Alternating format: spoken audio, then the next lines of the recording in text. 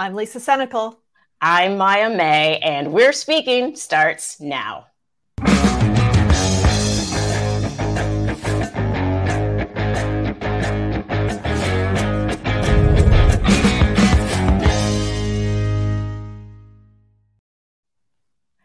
Hi, everybody. That seemed especially loud today. I don't know if it was loud, but it made me pay attention to the signs. And yeah. I was like, you know, we are what democracy looks like. We are the ones that we are waiting for. We're and closer. Yes, we're getting closer. And so yeah. today we're talking about progress, baby steps, little tiny baby steps to progress, because I'll, that's what we have to focus on. yeah, uh, I'll take them. Um, and and we're getting to make those baby steps because uh, as Mitch McConnell likes to remind us when he's the majority leader, elections have consequences. Well, yes, hey, the Democrats have the majority in the Senate now. So elections do have consequences. And today we're going to be talking about the SCOTUS uh, hearings and nomination of Ketanji Brown Jackson, um, who Senator Graham has informed us if the Re- Republicans controlled the Senate, would never have even gotten a hearing.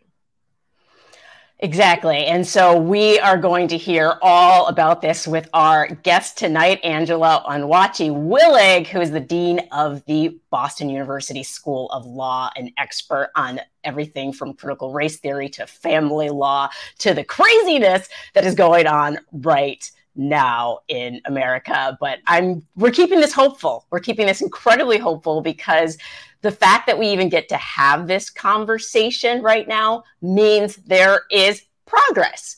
And right. so I'm like, you get, we have to grasp onto it because the thing is, what we saw during the hearings is that toxic people, and that includes toxic leadership, they want to make it about them. And so that's what they do. It's like this onslaught of negativity. And what feels um, like a loss is actually a win. And so for me, I'm like, it's time to reclaim our win. Like I want to celebrate our wins because that is what gives us the energy to keep moving forward.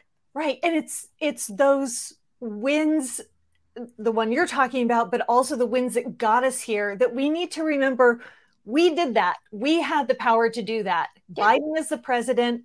We have Warnock and Ossoff because voters came out and worked like hell and showed up at the polls and gave us two Democratic senators from Georgia. So we we can do this. We can do it again. We've already proved it. We've proved it in Georgia. Yes. And now we know the stakes because we're seeing autocracy, uh, the laboratories of autocracy seem to be expanding. They're like, well, we tested this in Texas and Florida, so let's expand this to Georgia and to Ohio. We're seeing all sorts of crazy autocratic bills that are truly taking away our freedom, but somehow in the name of freedom, it's a little bit insane. Um, and it's it's honestly it's a it's a collapse of ethics and we've seen it uh, we're seeing it uh, in real time. And so it's that time. It is time for a view of last week's ethical collapse with the latest edition of last week in the republican party. Boo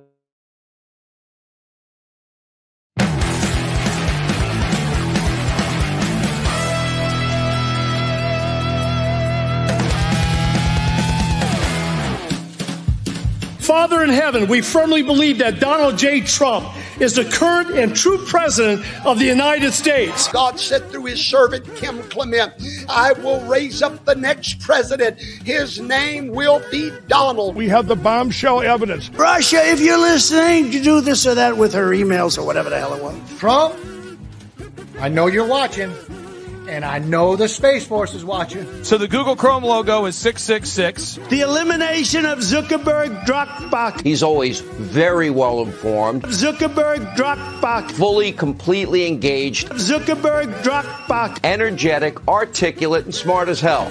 And then, uh...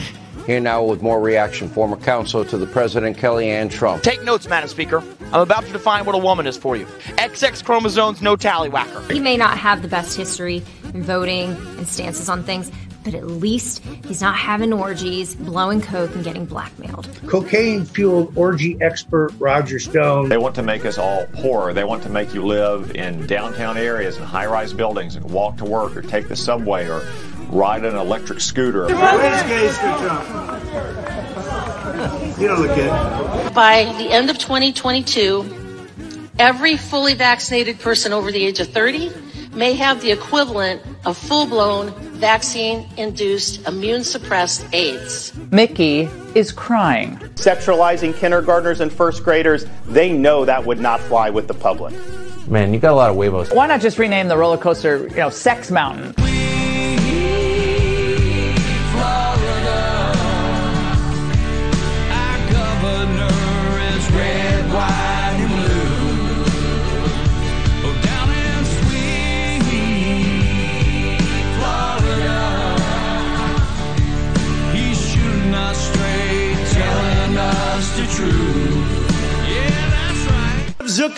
Zuckerberg Dropbox.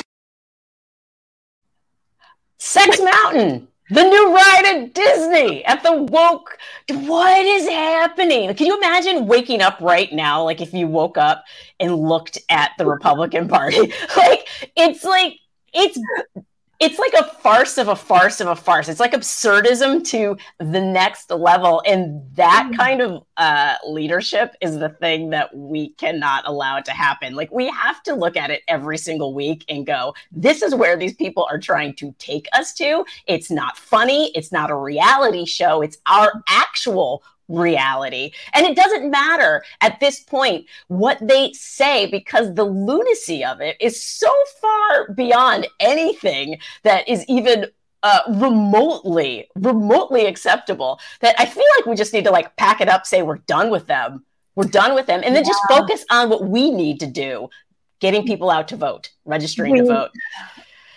We look at these clips and in the in the moment out of context they seem funny but we have to look at the the big picture of what is really happening. They all of those comments about children being sexualized and democrats being groomers anybody who doesn't agree with republican um, right-wing philosophy is now branded a pedophile and it's it provides cover for actual child predators and it dehumanizes their opponents. So we know what happens in cultures when a portion of a culture gets dehumanized. It's incredibly dangerous. We're seeing it play out in Ukraine, and it's it's not funny.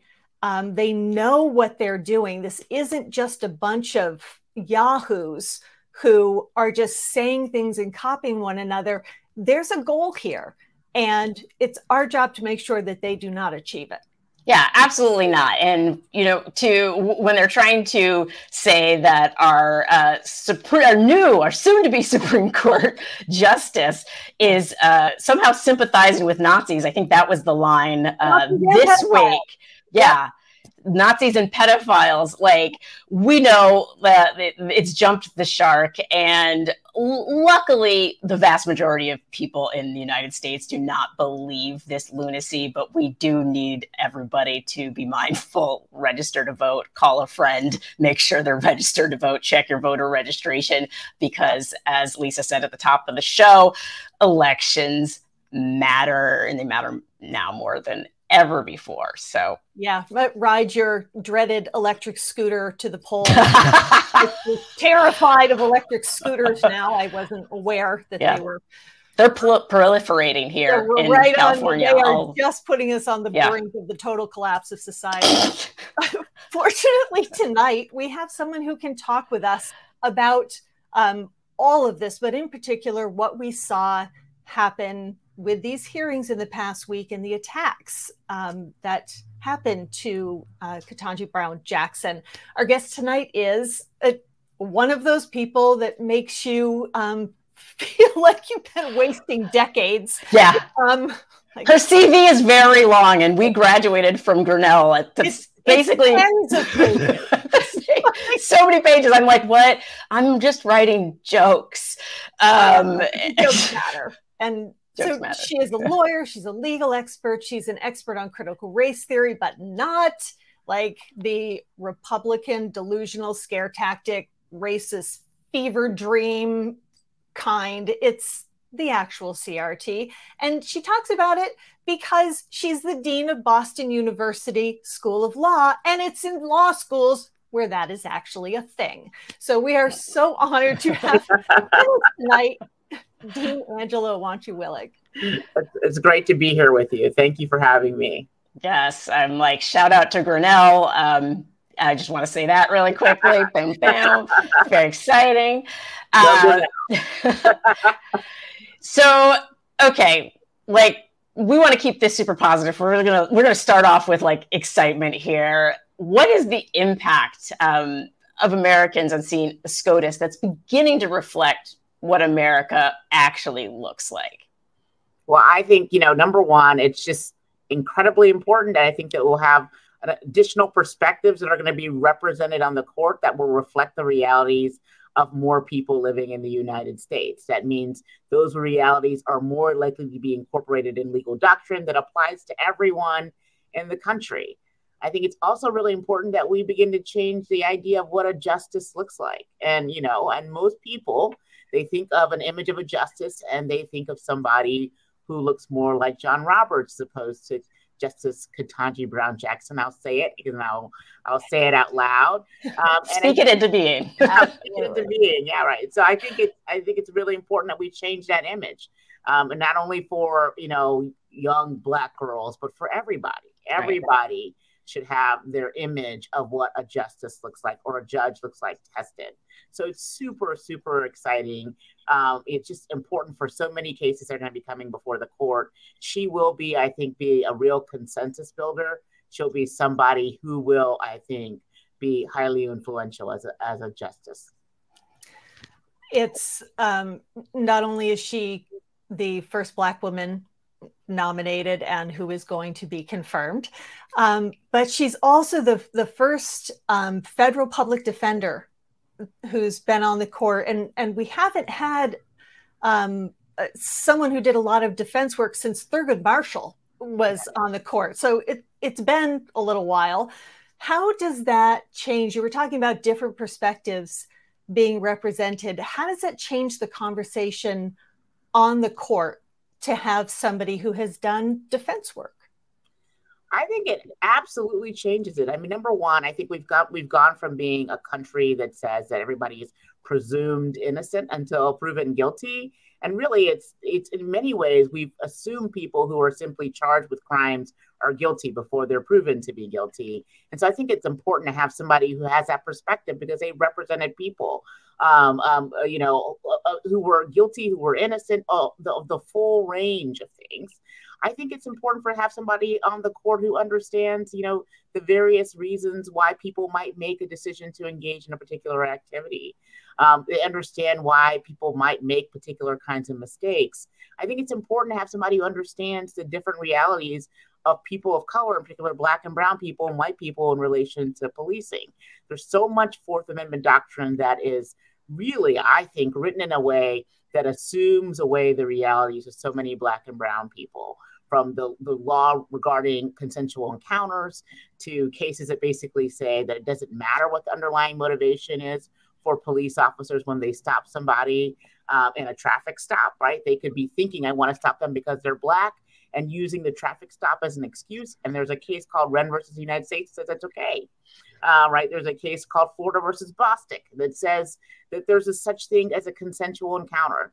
Um, that a police officer can stop you, ask for your ID, ask for your name, ask for all these things, um, and it's considered to be consensual. It's not a it's not a, a search or a seizure, um, as long as a person feels free to walk away or end end the end the encounter. And I just don't know any black and brown people who feel comfortable ending an encounter with police. You know that that has uh, could be tremendously lethal consequences. Yeah and when we talk about these different perspectives we often think that you know, different perspectives tend to bring conflict but in that conflict there is a resolution and problem solving. And so when she can you talk a little bit about that? Like her being on the court and being able to engage in these conversations because i think some from the what we're seeing from the right is this idea that she's going to come in and just like bulldoze people with her ideas when that's not what we're seeing. Can you talk about that in in terms of also like working with students? Because I'd love to know like the mood of the students on campus and and what it means to be able to engage in actual like conflict conversation um, with people of diverse perspectives. Absolutely. I mean, the Supreme Court itself has said that's precisely how we learn, right? In a case called Grutter versus against University of Michigan Law School, they say that diversity is one of the ways in which we learn, being exposed to different perspectives. We learn how to interact with different people when we're exposed to diverse ideas. We learn that people from all the same group aren't all the same. There's so many benefits to diversity, and the court itself has said it. Um, and so I think um, you know the it's it's it's and our students I think in particular this generation Generation Z really really cares a lot about diversity. They've grown up more segregated than any other generation. But they care about diversity and the, and the essays they write, in the things they say, in the way they want to learn about class, in the movements that we've seen them engage in, and the kinds of questions that they're raising um, it's it's a generation that I think will, will create a lot of change. And Justice Jackson is somebody who is known for being a consensus builder. Um, when she chaired the the sentencing commission, was somebody it's a bipartisan commission. No more than four members of a seven seven person commission could come from one party. Um, you know, 98% of the of the of the proposals were were completely unanimous or were, were you know so she was somebody who built consensus around a really difficult issue involving sentencing guidelines and, and how the guidelines that were issued for uh, sentencing people who were charged with and convicted of, of federal crimes. Uh, and that's a really that's not an issue that there tends to be bipartisan agreement on and yet she really led that group to a lot of consensus on really important issues. I think she's going to be um, you know, you saw really when she was speaking the empathy um, that that comes from and just her being, right? Um, you saw how brilliant she was, and I think that she's going to be able to develop the relationships and have the kinds of conversations that allow people to consider perspectives they hadn't previously considered, to that to allow people to understand the realities of people's lives they haven't previously considered. Uh, I think she'll be really highly influential consensus building is not an easy thing to do these days, especially in the public sphere uh, when the cameras are on. Yeah. Um, what do you think? I mean, the the the hearings were were beautiful at times and horrifying at others. Um, the the level of disrespect and just mm-hmm. vitriol that came at her at times, and my God, the woman's ability to remain composed um, yeah. and take that incoming um, is astounding. But so much of that is performative. It's it's done for the cameras. So how do we how do we have meaningful confirmation hearings in the future when the cameras are on and the biggest concern is a bunch of politicians catering, pandering to their bases. Yes, uh, it's. I mean, I think you know. I think that calling it out is really important, and I think modeling a different kind of behavior is really important. I think it was important that a senator like Ben Sasse called it. I think Ben Sasse called it jackassery. I think it was important uh, to call it out and to say that this is not behavior that I condone. I don't. I might not agree um, with Judge Jackson on many issues, but this, she doesn't deserve to be treated this way. Mm-hmm. Senator Grassley from Iowa was also somebody who called out the behavior and said that he thought it was reprehensible. And so I think that's important for people who are, are in the same party and witnessing the behavior to call it out. And I think it's important for everybody to say, here's what we think is driving it. And because I think that most people view themselves as being people who believe in racial equality, who who want to see us advance in many ways, in particular when it comes to race. And when you call out the racism behind um, so many so many of the questions, uh, uh, intersectional racism and gen- and sexism behind so many of the questions uh, and and some of the insinuations that were made. I think also it makes more people who have um, the best of intentions want to distance themselves from that, that, kind of behavior. She's the most popular nominee in recent history, more popular than, of course, just Justice Barrett, Justice Kavanaugh, Justice Gorsuch, of course, Justice Roberts. You know, and I think that's meaningful. I mean, people saw her be really, you know, you know, grace under pressure um, throughout the hearings, and and they could see the kind of person that she is. They could tell she was brilliant. They could tell that she had the right temperament and uh, um, and demeanor for sitting on the bench, and it's one of the reasons why I think she's the most popular nominee in recent history. Yeah, to your point, I think it was 70% of Americans polled were in favor or are in favor of confirming Judge Brown Jackson, which uh, feels like progress, and yet there is this disconnect between the leadership. And what what are the kind of conversations that happen or that need to happen um, amongst leaders so that they remember that there are uh, there are people in our country who are following uh, their lead um, you know in terms of uh, the kind of country that we want to be yeah, I think that I, I think that I wish I had the answer to that question. What I would say. I really wish I had the answer to the question. And you you you might disagree with me, but I I I think I believe that I saw in in a moment in questioning when Josh Hawley was questioning Judge Jackson that he actually felt a little bit bad about what he was doing. So um, maybe I'm maybe people are going to disagree with me on that, but I think that um, I think that reminders, um, the, you know, some of the things that that Senator Senator Booker Booker's moment with Judge Jackson, um, Senator Padilla's moment with Judge Jackson, I think those were really amazing moments for a variety of reasons. I think so many of us felt um, good about the ways in which they uplifted her in that moment, but I think it also reminded people this is a real person uh, who's a human being who is having to undergo these attacks for hours and hours and hours, nearly 20 hours.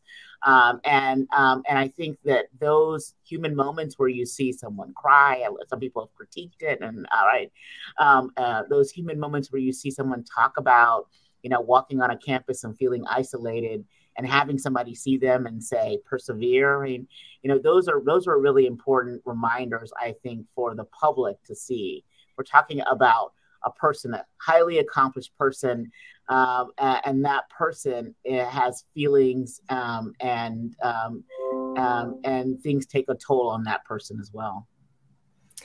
I found it really um, surprising that, with as racially charged as the country feels right now, that she does have seventy percent support in that poll, which is incredible to see. But um, Ruth Bader Ginsburg had a, a famous answer that I think everybody's heard when she was asked, When will there be enough women on the court? And her response was, When there are nine.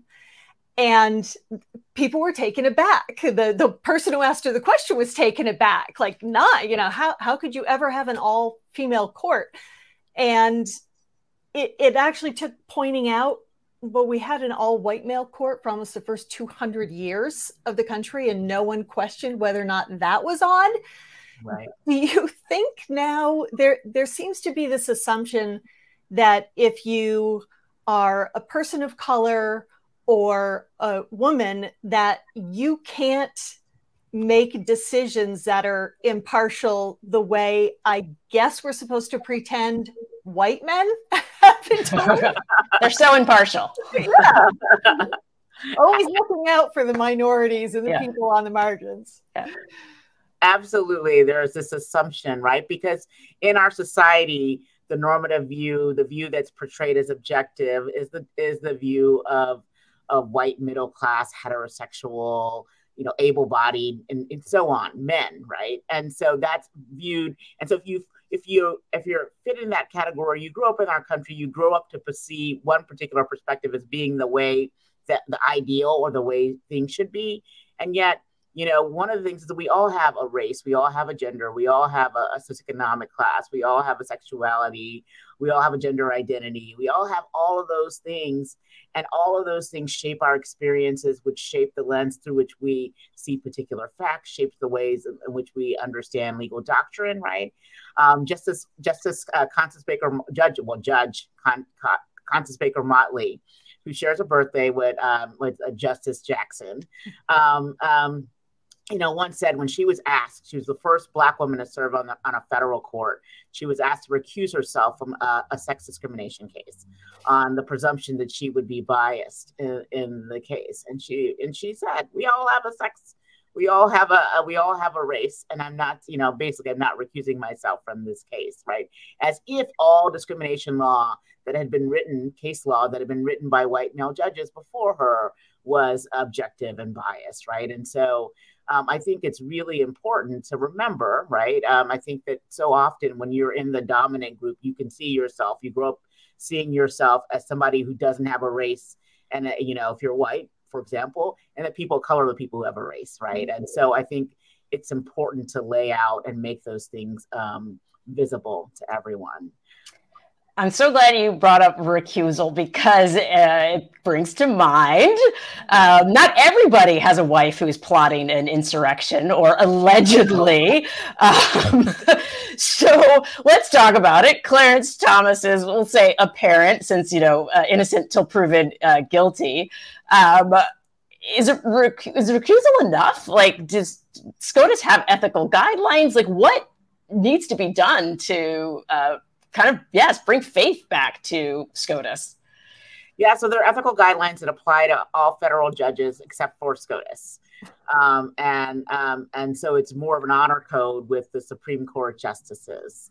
Um, and uh, you know, I think there are going to be a lot of questions, a lot of a lot of hearings in the future about um, uh, and a lot of more scrutiny into any particular future cases under which, um, you know, Justice Thomas might have to recuse himself. Um, it's interesting because that was one of the questions people, of course, kept bringing up whether Ju- Justice Jackson, before she's even appointed, is going to recuse herself from the Harvard uh, affirmative action case. Um, and she says so and that that's her plan in the hearings. But it was interesting that there was so much uh, focus on that um, before she's even appointed, and yet there aren't necessarily the same questions about sitting justices and wh- whether and when they should recuse themselves.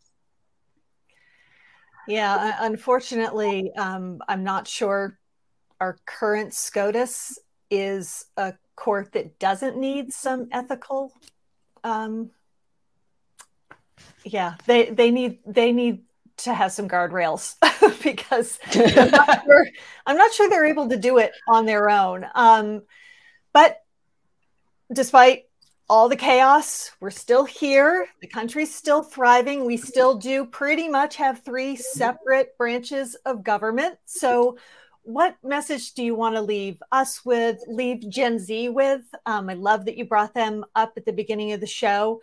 Um, what message to those folks about um, the people who are trying to hold back progress?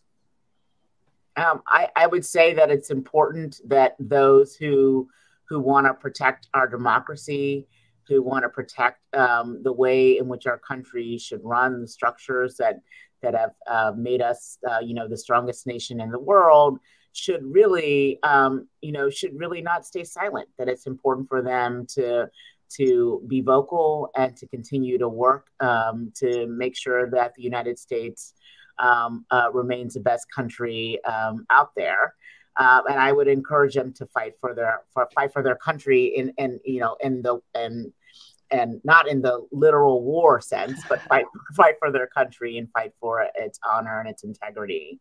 Um, um, the the other thing is, I would say, um, going back to the Judge Jackson hearing is, is that I think um, you know, you know, John um, um, John Hope Franklin said um, that you know one of the one of the most important things about um, President Obama getting elected was you know to see a black family, right? This having the first family be a black family, and I think one of the really important things that we saw too, although we saw it with Justice Thomas as well, though not it wasn't as visible, um, was to see um, just, Ju- Ju- Justice Jackson's family, right? Uh, a really, again, it's a, another reflection of a changing country that we live in, uh, a multiracial uh, um, family couple that met when they were in college at Harvard, uh, you know, dated all throughout college, got married, you know, have two beautiful daughters. You know, it's it's a reflection of the ways in which we are changing in the United States. And I think having um, um, you know, her family also be as, as visible as it was during the hearing was a really important moment for our country. Absolutely. Um, representation truly across the board. And it's inspiring because it does model the fact that we can actually live together in harmony. We can do this. We don't have uh, any other choice. So thank you for um, reminding us of that. Um, truly, um, absolutely love having you here, Angela, as a fellow Grinnellian. Another shout out to Grinnell because that's what we do. I see you representing the Scarlet and black. I don't know if that was intentional, um, but I'm gonna I'm gonna pretend that it is. Um, but yeah, so thank you so much, um, truly, for the work that you're doing and for inspiring students and connecting and truly hearing them and guiding them um, in a way so that our country is moving towards the light as opposed to the darkness. So um, thank you again, and hopefully we will have you back sometime soon. Great. Thank you for having me. It's been fun. Thank great. you for coming. Great. Thanks. I I feel inspired. Maybe it's just because I'm uh, super excited about talking to a Grinnellian, but uh, but truly, truly, like some of the, this week, the last couple of weeks have felt very, very tough, very draining, and and hearing in this interview that we are there's progress and that is it is coming change is coming and we're seeing it. And it's just like such a nice reminder. It's like oh yeah that's that's actually what it looks like. That's what resilience in the face of you know all of these people who want to try to stop progress. This is what resilience looks like. And it's actually quite graceful um, in many ways. It is. And that that 70% support that she has is something that I really hang on to because it it gives us that perspective that we talk about a lot that there are more of us than there are of them. There are 30% of people who oppose having the first black woman on the Supreme Court. That means there are a lot of people who voted for Donald Trump who support Justice Jackson. That that really matters and um, it's confusing it's confusing. I don't completely understand it, but I'm happy to see. Maybe some people have had a change of heart. Yeah. I don't know. What whatever caused that 70%, that means there are the numbers out there mm-hmm. for democracy to succeed, for progress to happen. It it is all within our ability to make the good things happen in this country that we want to see happen. We just, at, as Angela said, we have to speak up and we have to be active.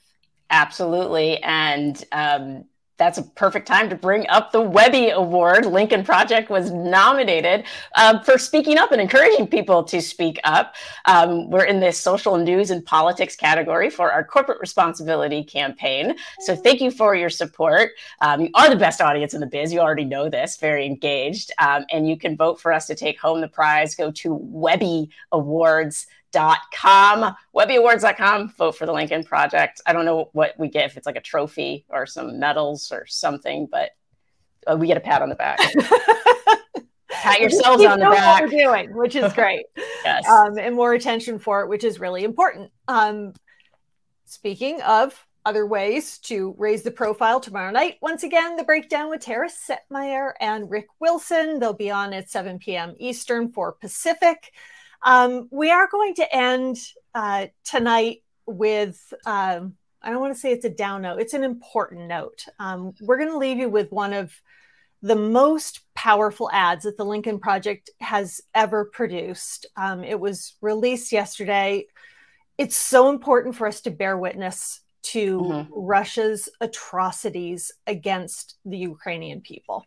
Truly. And the Republicans who side with Russia have basically aligned themselves with Putin. He's a war criminal. This is autocracy. When we've talked before about the ADL pyramid of hate, like this is where hate leads. Um, so please watch.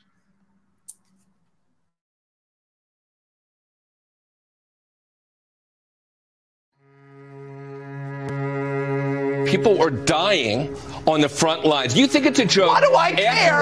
Why do I why care what's going on in the conflict between Ukraine and Russia? We're not an ally of Ukraine. I keep saying ally, ally. We're not. You got this Minsk Accord and the stuff kind of bouncing around. We're not an ally. They're not an ally. Why shouldn't I root for Russia, because which I am? about Vladimir Putin, you know, I analogize him to basically an authoritarian gas station attendant. Why does permanent Washington hate him so much? Has Putin ever called me a racist? Has he threatened to get me fired for disagreeing with him? Putin ain't woke. He is anti woke. No, Vladimir Putin didn't do any of that. He's going to go in and be a peacekeeper. I said, How smart is that?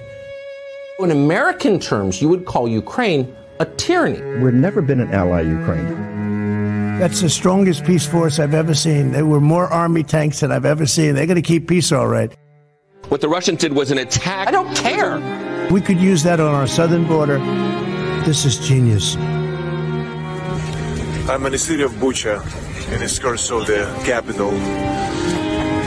What happened here and everywhere in Ukraine, what is happening, this is not special operation. This is not military objects. This is civilians. They've been shot in the head with the tight hands behind their back. This is genocide of the Ukrainian population. And that's exactly what Russian regime, Putin's regime, Russian army is doing. Killing the civilians with the tight hands behind their back and with a shot in their heads.